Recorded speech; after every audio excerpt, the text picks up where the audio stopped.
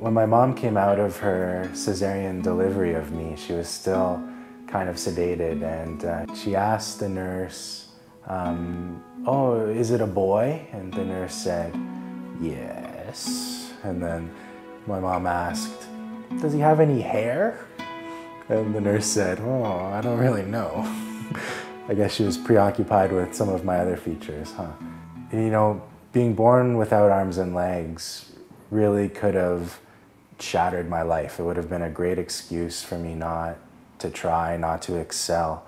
But lucky for me, right from the beginning, my parents treated me as if I would succeed. They treated me, I'll say, like a normal child.